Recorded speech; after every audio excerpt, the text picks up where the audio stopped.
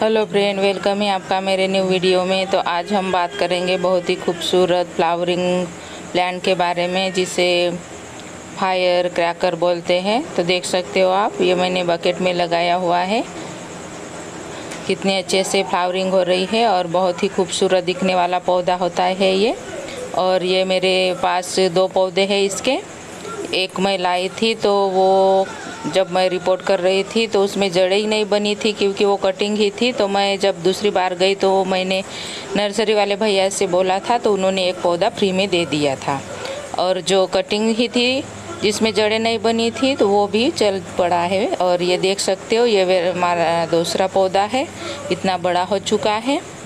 और पहले जो दिखाया था, वो वही कटिंग है, जिसमें जड़ें नहीं बनी हुई थी तो उसमें भी जड़ें आ चुकी है तो बहुत ही आसानी से ये ग्रो होने वाला पौधा है कटिंग से।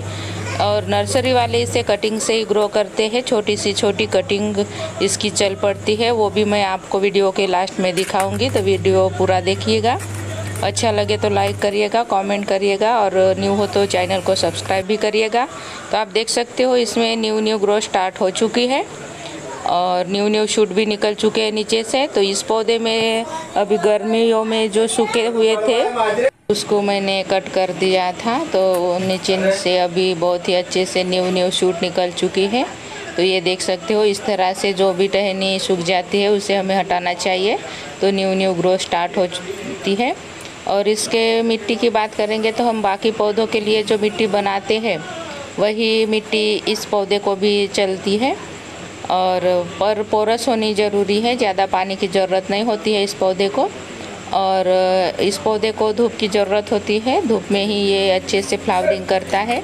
और बहुत ही खूबसूरत दिखने के साथ साथ ही ये बहुत अच्छे से एकदम से झूमर की तरह दिख जाता है और रेड रेड इसमें फ्लावरिंग भी होती है।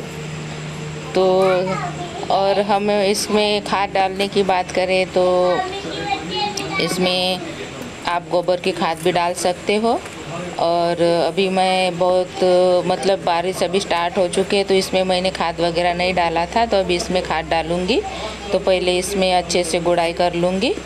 और हमें इसमें पानी का बहुत ध्यान देना होता है, पानी ज़्यादा नहीं डालना होता है, नहीं तो इसमें फ्लावरिंग नहीं होती है। तो मैंने लिया है यहाँ पे गोबर की खाद।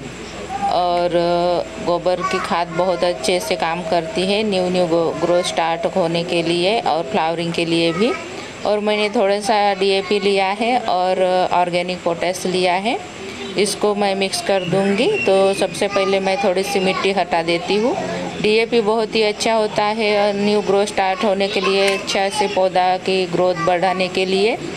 और पोटैश फ्लावरिंग के लिए काफ़ी अच्छा होता है, सभी को पता है। तो मैं अभी ये मिट्टी हटा देती हूँ ऊपर की, ताकि नीचे जल्दी से ये खाद जो मैं डाल रही हूँ वो कंपोस्ट में मिक्स हो जाए और गल जाए, ताकि तभी जड़ों तक पहुँचेगा, क्योंकि इसे गलने में वक्त लगता है। जल्दी ये गलता नहीं है। तो पहले मैं इसकी मिट्टी हटा देती हूँ। पूरी मिट्टी हटा दूँगी और उसके बाद मैं इसमें डालूँगी पोटैश और डीएपी के दाने।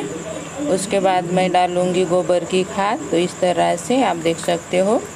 तो बहुत ही खूबसूरत और कम केयर में इसे ज़्यादा केयर की ज़रूरत नहीं होती है, बस पानी का ध्यान रखना होता है और पूरे धूप में इसे रखना होता है, तभी ये अच्छे से फ्लावरिंग करता है फ्रेंड। और बहुत ही खूबसूरत पौधा है ये। आप ज़रूर ख़रीदें। चालीस या पचास रुपए में ये नर्सरी में मिल जाता है। और अगर आपको कहीं मिल जाए आजू बाजू में तो आप कटिंग से भी इसे आसानी से लगा सकते हो। मैंने इसी पौधे से कटिंग लेके जून मंथ में लगाया था। वही कटिंग मैं दिखाऊँगी। न्यू न्यू ग्रो स्टार्ट भी हो चुकी है उसमें। और फिर से कटिंग लगा के भी दिखाऊँगी। तो देख सकते हो आप इस तरह से। और उसके बाद मैं डाल दूँगी गोबर की खाद और उसके ऊपर मैं डालूँगी मिट्टी ताकि ये नीचे से अच्छे से गल जाए और बहुत अच्छे से जड़ों को इसका पोषण मिल सके और पौधा अच्छे से फिर से अच्छे से ग्रोथ करे और ज़्यादा से ज़्यादा फ्लावरिंग हो। तो इस तरह से मैंने ये गोबर की खाद भी ऊपर से डाल दी है। तो आप भी इसी तरह से इसे ज़्यादा फ्लावर पा सकते हो, इस तरह से खाद डाल सकते हो। बहुत ही खूबसूरत है। मुझे बहुत दिनों से इसकी तलाश थी और मुझे ये पौधा नर्सरी में दिखा तो मैं ले आई थी पिछले साल। पिछले साल मतलब फरवरी में लाई थी मैं। तो इस तरह से मैंने ऊपर से मिट्टी ढक दी है। तो बहुत ही ज़्यादा खूबसूरत दिखने वाला पौधा और ये देखिए, उसकी कटिंग मैंने लगाई थी तो जून में लगाई थी और न्यू न्यू शूट निकल चुके हैं इसमें। तो ये कटिंग भी ग्रो हो जाएगी, देख सकते हो। और आज मैं फिर बताऊँगी किस तरह से इसकी कटिंग ग्रो करनी है। तो ये देखिए फ्रेंड ये मैंने कटिंग ली है और आपको एलोवेरा में इसे डिप करके मिट्टी में इस तरह से दबा देना है। छोटी सी छोटी अगर आप कटिंग भी लेते हो तो भी ये चल जाती है, बहुत अच्छे से ग्रो हो जाती है। तो ये देखिए, इस तरह से मैंने दो कटिंग यहाँ पे लगा दी है। तो वीडियो अच्छा लगे तो लाइक ज़रूर करिएगा फ्रेंड और कमेंट करके बताइएगा आपको ये पौधा पसंद आया कि नहीं।